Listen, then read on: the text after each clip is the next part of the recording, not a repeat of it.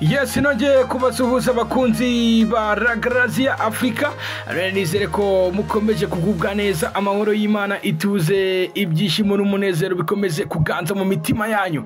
Bashimira uburyo mugenda mukurikirana amakuru tugenda tubagezaho kandi ni iby'ingenzi imana ijya ibihera umugisha. Eh, nizere ko mwamaze gukora sabusikarayibu ariko ibintu bikomeje kuba bibi amawa ama awadi kabisa akomeje kuba ama awadi eh ejo bundi bitutse yari yavuze ko azatwara igikombe. Abantu banamukunda cyane ariko birangira bahavu. Akimutwaye kabisa ntabwo tuzi. Ni muri rwanda international movie award. Eh, byagenze nabi ibintu birahinduka abantu bagura inuza ababashyigikiye bakoresha amasimukadi y'imbyogo n'ibiki birangira bahavu ahanyuranye umucyo bamenya bari basakuje bati noneho karabaye. Ariko eh, bahavu ahanyurana umucyo nanone eh, bamwita mitsutsu yagaragaye muri televiziyo kwa m irene. Yarakaye ariko avuga ati ibi bintu byajemo amapusi byajemo ibiki n'ibiki what is that? Yavuga ati ibintu ntibyongera kuzamo amanyanga gutya ntabwo nzasubirayo. Ntabwo tuzi ngo muri the choice award ho bizarangira gute? Ntabwo hazazamo amanyanga. Reka tubyizere ko nta manyanga azazamo ariko nanone burya twemera ibintu ari uko tubibonye. The choice award seburi koko bruce melody na aria kur. Mu babonye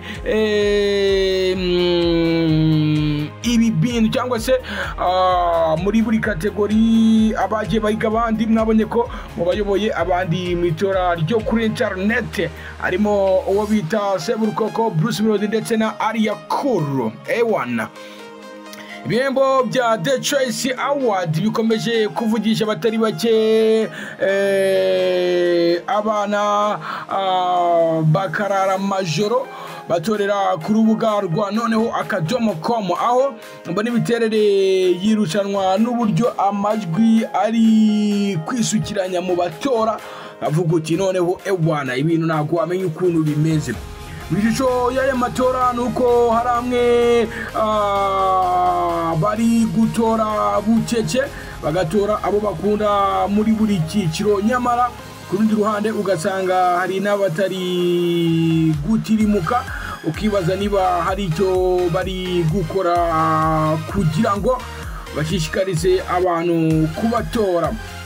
Gusa nubwo bimeze gutyo hari aba bandikiriye abandi ndetse bakomeje umushinga wo gutora barimo nka papa sava ufite amajwi agera ku gihumbi kimwe magana cyenda mirongo itanu nane ariya kuru n'amajwi magana atandatu na cumi n'umunani bruce melody eh, mu ndirimbo ye izwi nka funga maco akaba afite abamutora bagera kuri magana ane na mirongo itatu.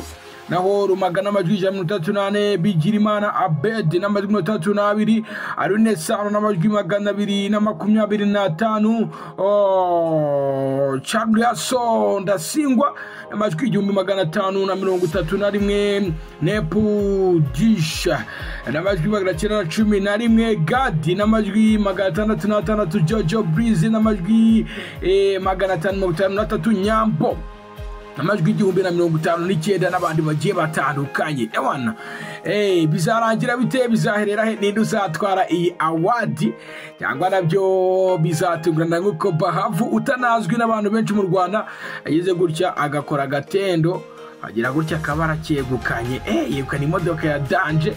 Eh, aba ni abayoboye kuri buri cyiciro aho buri umwe yisanga gusa. Uru ni urutonde rw'agateganyo kugeza igihe amatora azahagararira cyane ko umwanya ku mwanya. Uru rutonde ruri guhinduka bitewe n'ihatana ukuntu ridasanzwe. Ubwo abahanzi bahatanye mu byiciro. Yesi ni byo agiye kubabwira. Ngd barabiteguye. Ewa baratireka cyane mu byiciro mu cyiciro cy'umuhanzi w'umwaka. Eh, best artist of the year. Harimo Bruce Melody, Christopher, Kenny Sol, Juno Kizigenda na Chris Easy abahanzi bashya bitwaye neza best new artist. Harimo bwiza afrique mistake yamano ndetse na rumaga. Umuhanzikazi wahize abandi best female artist of the year. Harimo butera knowless ali airways aline sano bwiza n'uwo bita marina de bola indirimbo ifite amashusho meza best video of the year Eh, nye wai ya jebeni na Diamond Platnumz. Funga macho ya Bruce Melody Jory ya Ken Sol Jata ya Juno Kizigenza um, uh, izina ya Bruce Melody mu cyiciro cy'abatunganya amashusho y'indirimbo best video director of the year. Harimo Gadi Medisa Ray Easy Cat Faizo Pro na Simbi Naila. Ewana ew ino uzagitwara by the way ntabwo tubizi gusa mugende mubashyigikire uwukunda. N'uripfane ugende umubwire umutore kuri mm, noneho akadomo com. Icyiciro cy'abahanzi baririmba indirimbo zo kuramya no guhimbaza imana. Best gospel the year. Harimo israel mbonyi vesera na durukasi james daniela bosco nshuti na chriso ndasingwa. Ndasingwa Hey, badurukasi ntabwo bisi kubara abana y'umusanze mukomere cyane mbese badurukasi ntabwo bisi rw'ahantu muzahanyurana umucyo. Bruce Melody uri kubarizwa Tanzania ayoboye icyiciro arimo eh, umukinnyi wahize abandi most valuable player. Harimo Alex Mpoyo Bigirimana Abedi Mabinga Kali Bati Mugisha Moyize na Shaban Hussein uh, Chabarara umukinnyi wa filime wahize abandi mu bagabo best actor of the year. Harimo nyatso rusine patrick niteka gracier bamenya clapton kibonke umukinnyi wa filime wahize abandi mu bagore best actress of the year. Harimo nadia izina akoresha muri city maid bahavu usanase janet nyambo jessica aisha inyindi na uwimpundu sandrine uzwi nka rufonsina umu dj ahize abandi best dj of the year. Harimo oh, dj toxic dj manaudi dj pyfo dj brian na nepo dj hey, dj brian ndagusuje cyane.